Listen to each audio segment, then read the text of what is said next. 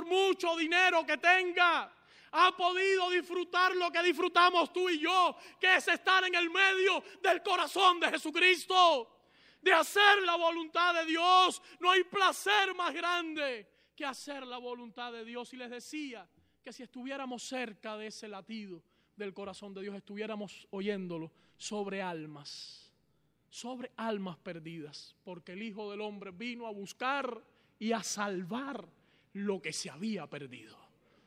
Y dijo el apóstol Pablo, palabra fiel y digna de ser recibida por todos, que Cristo Jesús vino al mundo para salvar a los pecadores, de los cuales yo soy el primero. Siéntete como ese primero de los pecadores, así me siento yo, para que te sientas con el gozo más grande, porque por ti y por mí vino Jesucristo, aleluya. Pero no solo por ti y por mí, y no por una humanidad que se estaba perdiendo, que estaba y decía que ellos puede que hayan disfrutado placeres que yo no puedo disfrutar ni podré jamás. Pero no quiero cambiarlo nunca por el placer que Dios me ha regalado de tener incontables veces en mis manos, incontables veces para gloria de Dios.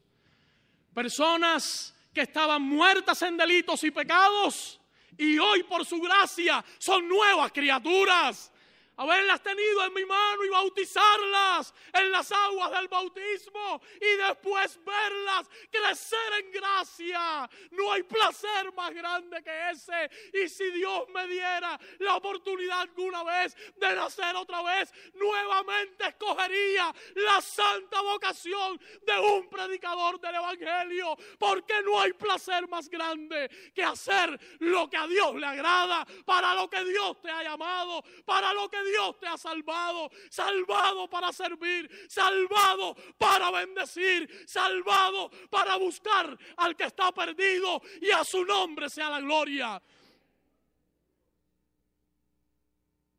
Usted podrá pensar, Dios no me va a pedir a mí tan importantes ajustes como aquellos. Pero no seas iluso, se lo pidió también a su hijo. Dice la palabra de Dios en segunda de Corintios 8:9 porque conocéis la gracia de nuestro Señor Jesucristo, que siendo rico, siendo rico, por amor de nosotros, se hizo pobre para que vosotros con su pobreza fueseis enriquecidos. ¿Cuántos le alaban?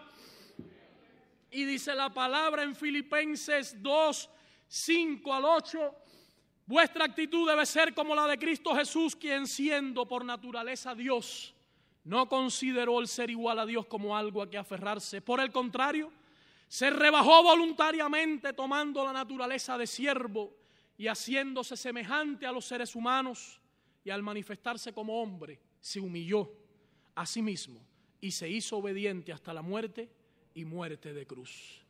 Que Dios nos bendiga con esta palabra. Si usted quiere ser un discípulo de Cristo, un seguidor de Jesús, no tienes otra opción.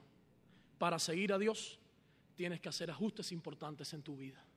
Para cumplir la voluntad de Dios tienes que hacer ajustes importantes en tu vida.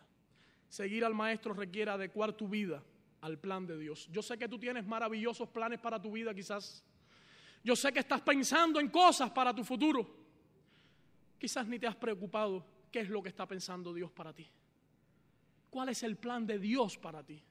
Porque aquí no cuenta lo que creas tú, aquí cuenta lo que crea Dios y ese plan hermoso de Dios para tu vida, de la única manera que se concreta es si ajustas tu vida a la vida de Dios. Aleluya. En esta noche nuestra hermana directora habló de un ejemplo que yo traía acá del joven rico. El joven rico quería la vida eterna, pero no quería el costo de ella. Y Jesús le dice, hijo, para tener la vida guarda los mandamientos. Y el joven le dice, todo eso lo he guardado desde mi juventud, ustedes lo saben. Jesús sencillamente quiso ser, por decirlo de una palabra, no cruel con él.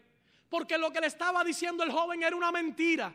Pero era una mentira con sinceridad quizás o un autoengaño. Porque estaba viendo los mandamientos de Dios de manera superficial. Jesús sin decirle eso no es cierto con la próxima palabra que le dijo, le demostró que él no estaba cumpliendo ni el primero de los mandamientos que dice, no tendrás dioses ajenos delante de mí. Y cuando le dice, vende todo lo que tienes y dalo a los pobres, y ven luego y sigue y me tendrás tesoro en el cielo.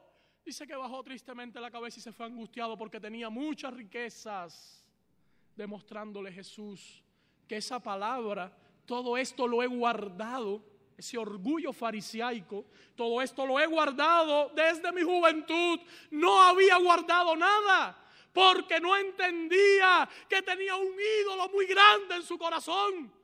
Quizás Jesús a otros ricos no les dijo esta palabra. Quizás a Nicodemo no se la dijo, quizás a José de Arimatea no se la dijo, se la dijo a él porque necesitaba saber que Dios no era lo primero en su vida, que lo primero era ese ídolo llamado Mamón. Por Dios, no podréis servir a Dios y a las riquezas. Y así pasa, hermanos. Tristemente pensamos que estamos guardando la palabra. Dios nos libre de arrogancias. Qué lindo cómo Jesús puso todo en su justo lugar. Cualquier cosa que ocupa el lugar de Dios en tu corazón es un ídolo y por lo tanto está estorbando tu relación conmigo, hijo mío, dice el Señor. Dice la palabra de Dios, por ejemplo, no matarás. Y ahora tú dices, qué bien, he guardado esta palabra. Por eso Jesús dice, cualquiera que dice fatuo a su hermano, ya es digno del infierno. ¿Cuántos asesinos entonces tendríamos en medio nuestro? ¿O cuántas veces nosotros mismos habremos matado a un hermano al decirle fatuo? Quizás has matado no su vida física, pero sí su vida espiritual o sus ilusiones o sus esperanzas. Y el Señor tiene que decirte, tienes que cambiar. Hay mucho en tu vida que tiene que cambiar para adecuarte al propósito mío para tu vida.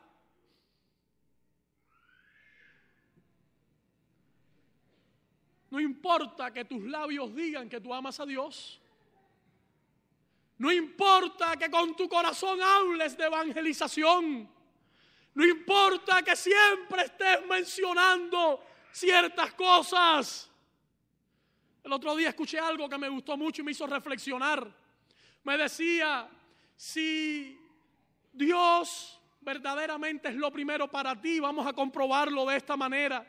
El tiempo que le dedicas a Dios, que sea el que le dedicas a tu familia, pronto no tendrás familia.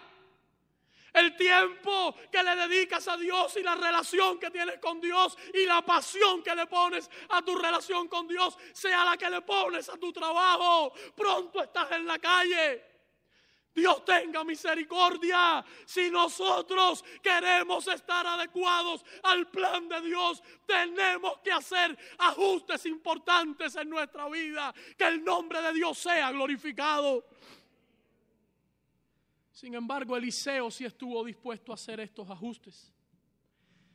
Dice que cuando Elías pasó y le tiró el manto, Eliseo se encontraba arando delante de doce yuntas de bueyes pero Eliseo sí estaba dispuesto a hacer los cambios. Quizás has escuchado la frase en otras ocasiones, quemar las naves, es decir, quitar todo lo que esté atrás que pueda garantizarte una retirada. Dice que quemó, hizo un altar, hizo una fogata con el arado y mató los bueyes. Estaba dispuesto a no volver atrás. Y cuando hizo este ajuste, Dios, a Dios le plugo glorificarse en la vida de ese siervo, haciendo milagros y portentos de manera maravillosa, porque hizo los ajustes. Está todavía por verse, querido hermano, lo que Dios puede hacer en tu vida y en la mía cuando hagamos los ajustes necesarios, cuando hagamos lo que el Espíritu está diciendo a la iglesia.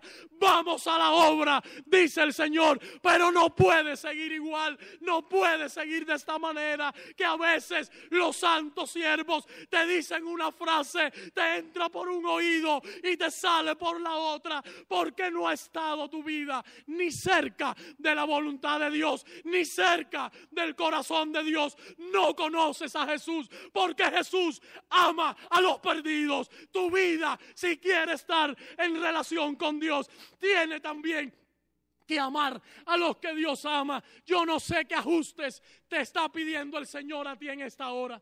Yo no sé qué está pidiéndote ahora mismo el Espíritu Santo. Puedo mirar para dentro de mí y ver qué me está diciendo el Señor. Puedo mirar en mi corazón y ver lo que el Señor me está pidiendo. Me está diciendo, hijo mío, haz ajustes en esta área que tú sabes que no es conforme a mi voluntad. Yo no sé qué ajustes te está pidiendo a ti el Señor, pero de cierto te digo que sí te pide algún ajuste, porque la meta de Dios en tu vida es hacerte como Cristo y cuán lejos estamos aún. Ajustemos nuestra vida al propósito de Dios, ajustemos nuestra vida al propósito del Santo y para eso no podemos seguir igual. Dios bendiga a su iglesia.